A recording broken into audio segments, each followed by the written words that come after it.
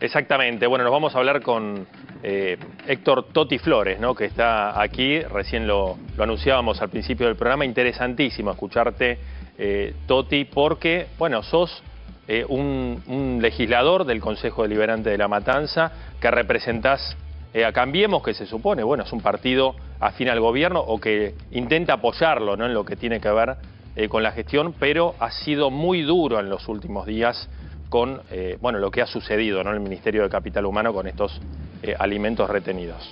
Sí, la verdad que eh, yo entré por las listas de Junto por el Cambio como mm. concejal y ahora en el Consejo Deliberante estamos divididos, hemos construido un bloque junto con el presidente del PRO, Jorge Lampa, y Laura Greco, dos concejales, eh, que llamamos Cambiemos la Matanza, para volver a la esencia de lo que fue en el 2015 el proyecto de Cambiemos, que lamentablemente quedó desvirtuado en el acompañamiento a las medidas que ha tomado el gobierno de la Libertad Avanza y la verdad que no estamos de acuerdo porque nosotros representamos a los sectores más pobres, a los jubilados, este, eh, para eso estamos en, el, en, la función pública y no representamos a las políticas que realmente son inhumanas que se están llevando adelante. Toti, quiero compartir con vos y, le doy pie a Pablo este video ¿no? que se ha hecho viral ayer de, bueno, Milei bancando a Sandra Petovelo en medio de una reunión, se ha aparecido en distintos lugares, incluso en una conferencia de prensa de Manuel Adorni. Bueno, un, un Milei que no da marcha atrás, ¿no? Sí, Milei que salió a respaldar fuertemente a Sandra Petovelo, que es la responsable del área del Ministerio de Capital Humano, que es la máxima responsable de que los alimentos no se hayan distribuido, además de los faltantes en los comedores. Ayer Milei fue a la Casa Rosada, encabezó la reunión de gabinete, hacía un mes que no participaba de esas reuniones. Cuando terminó la reunión, decidió irrumpir en la conferencia que todos los días hace Manuel Adorni, el vocero presidencial. Unos minutos antes de que empiece formalmente la conferencia, Milei dio algunas explicaciones o contestó algunas preguntas de los periodistas acreditados en Casa Rosada, un encuentro informal, no hubo cámaras formalmente, no hubo transmisión oficial, pero sí algunos los grabaron con celular. En ese marco relativizó las denuncias por las faltas de entregas de los alimentos y volvió a respaldar a Sandra Petovelo. Mírala. Bueno, en principio lo que puedo decir es que ningún alimento llegó tarde. Además, el escándalo que se hizo, ¿vos sabés cuánto ¿Tiene de margen de error un medicamento que tomás? el margen de error de los medicamentos, no sé, no lo sé. Bueno, porque eso te podría matar. Tiene un margen de error del 5% y lo que supuestamente vencía a fin de mes, que es por lo cual hicieron el escándalo, es el 3 en 10.000. Así están operando, muchachos. Por defiende a Petovelo y sigue. Absolutamente defiende a Petovelo. Petovelo es la mejor ministra de la historia. Y no tiene ningún tipo de posibilidad de causa de corrupción ni nada. Usted sabe que. No, la corrupción, no, la corrupción la tienen los quiseristas con los negocios turbios que hicieron. Las denuncias en la justicia, presidente, contra los contratos dentro del Ministerio de Capital Humano, 140 personas que están involucradas. Lo que no esté en orden, digamos, nosotros vamos a ser implacables con la corrupción en todas las líneas. Más allá del contexto, un tanto confusa, ¿no? La explicación de Milei que mezcla medicamentos con la causa de los alimentos. Lo que está tratando de explicar Milei es cuál es el margen de error en, por mm. ejemplo, en la efectividad de un medicamento o en que te pueda... Es como, dice, mira, esto, lo que estamos viendo, lo que se puede llegar a vencer del total de alimentos que había es el 3 cada 10.000, ¿sí? Una cuestión estadística que no hace a la cuestión de fondo. Y además algo muy importante, que este escándalo no tiene que ver solamente con los alimentos que se podrían llegar a vencer, sino que fundamentalmente empieza el escándalo cuando el gobierno no reparte alimentos en los comedores, independientemente de los que estaban acopiados, independientemente de los que se podrían llegar a vencer. El problema empieza cuando las organizaciones sociales le están diciendo al gobierno, mirá que no nos están llegando alimentos a los comedores. Después aparecen los galpones y después aparecen, ojo que una parte de esto se va a vencer. Pero al solamente limitar mi ley esto al 3 cada 10 mil, bueno, está eh, poniéndole un cerco muy chiquito al conflicto que en realidad es mucho mayor. Sí, yo la verdad que no, no lo entendí, ¿eh? perdón, no, no es falta de, razonamiento, sino justamente que la explicación es cerrada. Eh, yo entiendo que está queriendo tapar algo que es imposible de tapar porque la, la, cuestión del vencimiento es un agravante del hecho, eh, no llegamos tarde, no llegaron tarde a qué, a que se muera alguien, a que se demuestre que eso eh, se puede la gente morir de hambre, porque las necesidades están planteadas. Seis, siete meses que no llegan alimento a esos comedores, que era la, forma de contener a los sectores que estaban eh, más en, la lona, que viene desde hace mucho tiempo, es verdad, y que se ha agravado en los últimos meses, es realmente llegar tarde. Toti, eh, además eh, él se escuda, ¿no? Por ejemplo, en que la leche en polvo, claro, uno entiende, ¿no? Se vence el 7 de julio, es decir, no, estaba vencida, falta un mes, hay que ver si se llega, digamos, si llega la gente en ese periodo. Ahora, también la justicia tiene la sospecha de que han retirado ¿no? alimentos que ya estaban vencidos y que hubiesen implicado un escándalo. Así es, hoy escuchaba de que faltaban alimentos, o alguien se lo retiró a propósito mm. con la, el aval de eh, quienes tienen que controlar eso, o eh, alguien se lo robó y no, no se sabe. Ya no está el kirchnerismo en esos lugares, digo, no, el kirchnerismo gobernando, por lo tanto no puede echar la culpa.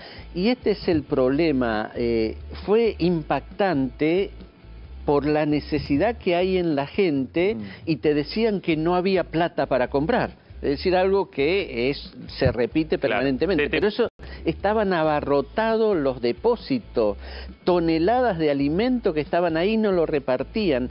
Para mí es muy parecido a, lo que fue la foto de la fiesta de mi querida Fabiola. Digo, es ah. un impacto muy fuerte porque encima después, eh, cuando tienen que argumentar, se echan la culpa a otros y no asumen la responsabilidad de quienes son los responsables. La ministra tiene que conocer lo que está pasando. Bueno, a un funcionario, ¿no? Lo que pasa que no es la cabeza bueno, del ministerio. Incluso por eso había otra causa denunciada por el propio gobierno por eh, corrupción, Para, para mí, este, eh, el caso de, de, la Torre es Fabiola, es decir, algo menor y no la responsabilidad de por qué no lo daban, cuál es la razón. Y yo creo que es la mejor ministra porque es la que realmente interpreta lo que eh, el presidente quiere con esas declaraciones en Estados Unidos con relación al tema de si tienen hambre de alguna manera se van a salvar, se van a sacar, qué sé yo.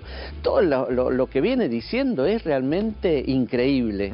Toti, en los comedores que vos tenés relación como dirigente social en la zona de La Matanza, calculo que mayoritariamente, aunque seguramente también tenés en otros, estaba llegando comida, falta comida, había comida que se mandaba desde el Estado previo al 10 de diciembre de 2023 y ahora no está llegando. ¿Cómo es la situación? Eh, no, no llega desde diciembre del año pasado a los comedores que les llegaban comida eh, a través de las organizaciones sociales, algunos eh, de Nación, como se dice. Eh, algunos, eh, los municipios eh, dan un poco, la provincia dan un poco, pero los que eran de nación no llegaban. perdón, perdón, Pablo, te interrumpo un segundo, Toti, para preguntarte. A ver, ¿terminar con este curro de la intermediación de las organizaciones sociales está bueno? Está muy bueno. Estamos todos de acuerdo. Y, nosotros lo hemos denunciado con los diputados de la coalición cívica cuando estaban gobernando esta doble lugar donde estaban, que eran los que repartían los alimentos a sus propias organizaciones. Está y está bien que intervenga la justicia. Em, hacer un poco de memoria, ¿no? Porque la Argentina a veces la tiene bastante corta la memoria. E, esos alimentos que se entregaban a través de las, eh, organizaciones sociales eran revendidos en las ferias los fines de semana, ¿no? El que sea prohibida su venta se revendía ahí. Hemos, innumerable cantidad de veces se han hecho informes al respecto. Entonces, está bueno haber terminado con el curro. Ahora bien, ¿qué es lo que sucede en el medio entre quiero terminar con este curro? Porque es una frase muy de los funcionarios del gobierno nacional a loco, no voy a repartir nada, esto está por vencer y no me importa, no me interesa que pasen hambre, con los números de la pobreza que tenemos. Para, para mí hay una intencionalidad oculta que es pegar en todo lo que tiene que ver con la construcción de comunidad porque esos, esos comedores no solamente se reparte comida, sino es donde se juntan los vecinos para de alguna manera contar lo que están sufriendo y ver en el otro alguna, alguna ayuda que le puedan, inclusive eh, eh, dándole aliento, digamos, ¿no? Que esto ya va a pasar, toda esa historia se quiere terminar con eso y hacerlo individualmente, que cada uno vaya a buscar sus cosas y terminar con esta idea de organización de la gente por abajo, porque si no, no se explica eh, por qué se ataca a todos los que hacen comida.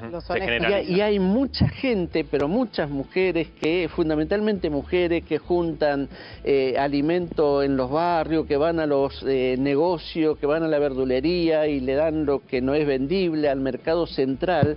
Y eso ahora ya no están queriendo hacerlo porque se sienten como que están cuestionadas por este discurso oficial que hace que todos sean sospechosos. El que ayuda es sospechoso. Toti, claro. Eh, ahora apareció un nuevo intermediario que es la Fundación Conin. Yo no sé si vos tenés, porque en realidad esta Fundación Conin tiene base en otros lugares del país, no sé si tiene en La Matanza. Eh, quería saber si tenías conocimiento de esta fundación y si conocías cómo trabajaba. Eh, yo he visitado a, varios centros en el interior del país, fundamentalmente, he hablado con Abel Albino muchas veces. ellos hacen un trabajo muy importante focalizado en el tema de la desnutrición con un programa que es especialmente para eso. Eh, sé que estaban queriendo abrir un centro en González Catán, el único que eh, conozco que se estaban haciendo.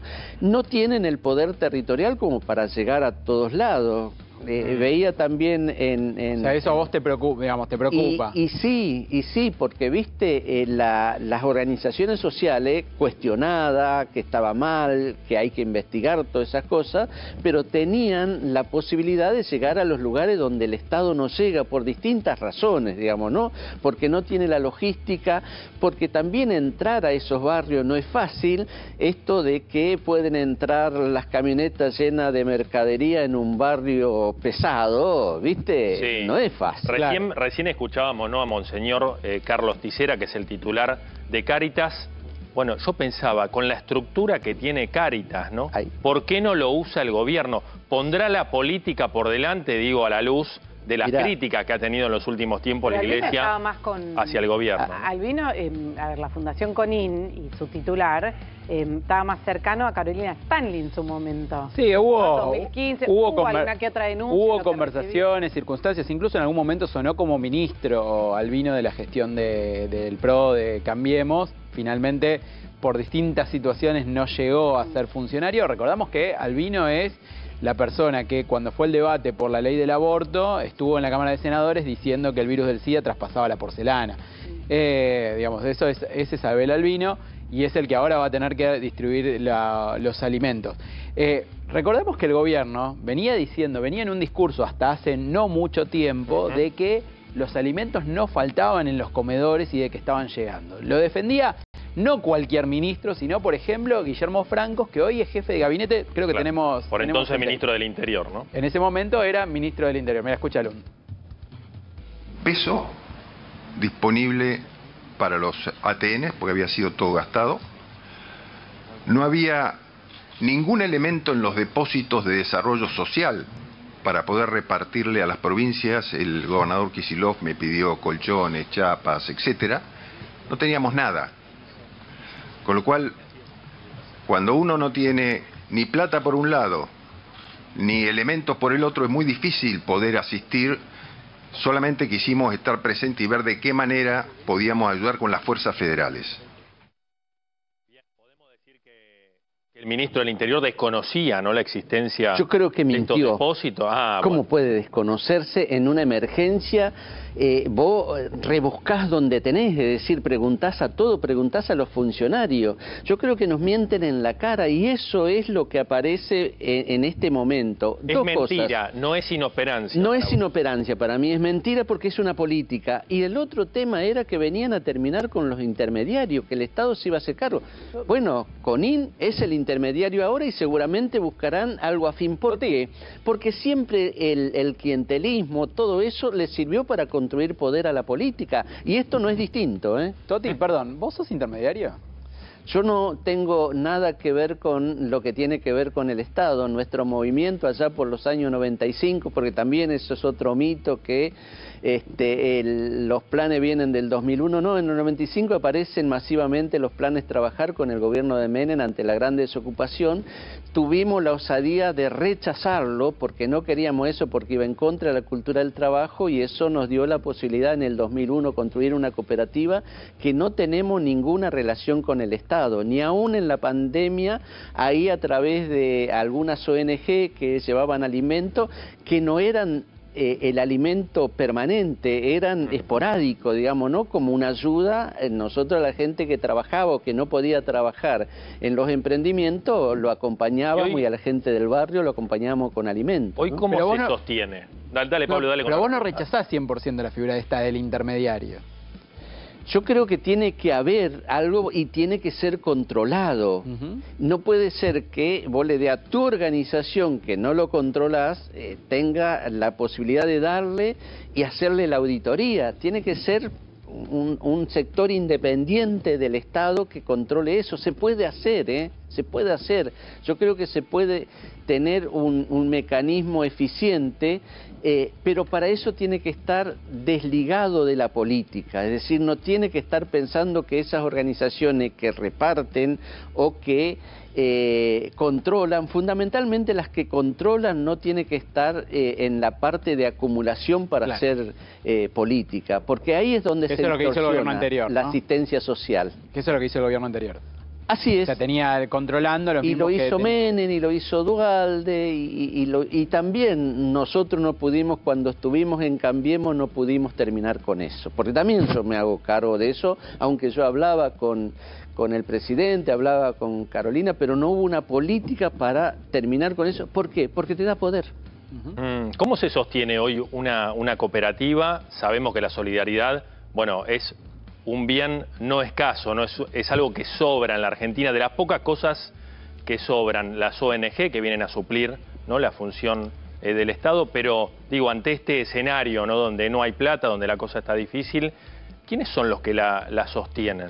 Bueno, nosotros eh, fue un proceso eh, interesante cuando vimos que estar en las ollas populares frente al municipio, cortando la ruta, no servía para reintegrarnos al aparato productivo, armamos esta cooperativa, que es una cooperativa de provisión de servicios educacionales y asistenciales y comunitarios. El tema del trabajo entra en lo comunitario. Se capacita para el trabajo, decimos nuestra cooperativa. Y así fuimos armando los emprendimientos. Hay distintos emprendimientos y se sostiene con el trabajo. ¿Cuál es la importancia que para nosotros fue el momento en que vimos la, la posibilidad de reintegrarnos? Cuando descubrimos que había algunas empresas que daban trabajo, que te capacitaban y que vos podías este, trabajar con esas empresas desde un lugar distinto, o sea, no como asalariado, sino como parte de, una, de una empresa social. Eh, fue muy importante la primera reunión que yo tuve allá por el 2004 con la Confederación General Económica, un presidente, Ricardo Faerman, que me contactó y tuvimos esa oportunidad para empezar a ver la la, importancia de integrarnos. ¿Qué descubrimos ahí?